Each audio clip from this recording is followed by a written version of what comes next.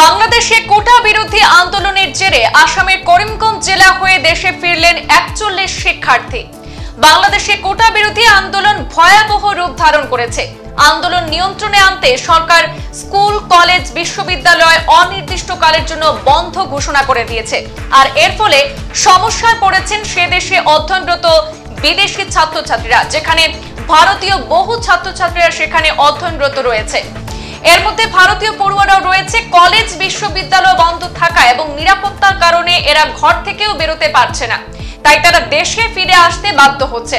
করিমগঞ্জের সুতারকান্দি স্থল সীমান্ত এবং কুশিয়ারা নদীর সীমান্ত দিয়ে আঠারো জুলাই থেকে আজ পর্যন্ত বাংলাদেশ থেকে একচল্লিশ জন শিক্ষার্থী ভারতে ফিরে এসেছেন বলে জানিয়েছেন করিমগঞ্জের জেলা শাসক মৃদুল কুমার যাদব।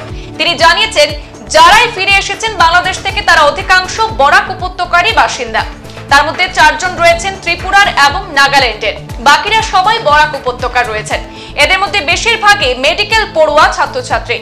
সিলেটের আশপাশের শিক্ষা প্রতিষ্ঠানগুলিতে তারা পড়াশোনা করেন।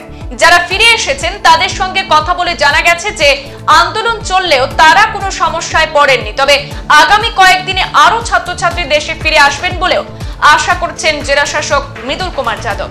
जो बांग्लादेश में पढ़ाई कर रहे हैं तो बिकॉज़ वहाँ जो प्रोटेस्ट चल रहा है, उसके कारण सारे कॉलेजेस यूनिवर्सिटीज़ बंद हैं तो उन, वो वापस इंडिया वापस आ रहे हैं। तो हमारा जो लैंड पोर्ट है सूतरकांडी में, उसके थ्रू 41 स्टूडेंट्स इंडियन स्टूडेंट अभी तक आ चुके हैं। कल 16 बच्चे आए थे, परसों 25 बच्चे आए थे, आज भी आने की आशंका है।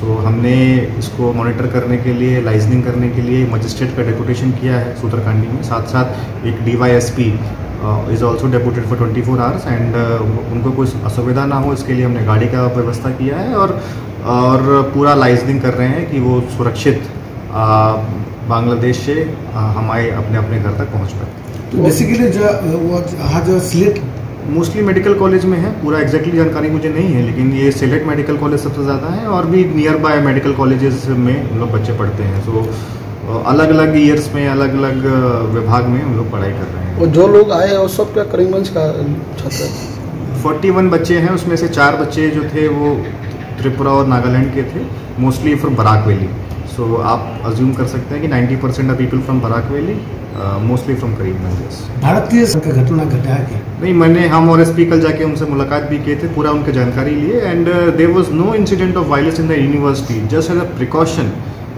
कि कुछ नहीं प्रॉब्लम हो इसलिए वो लोग वहाँ से वापस आ रहे हैं otherwise there is no bad incident happen with any of the students who are Indian students who are in the Bangladesh, but they should be careful. And we are also in touch with the High Commission in Bangladesh and nearby DC and SP of Sylhet as well.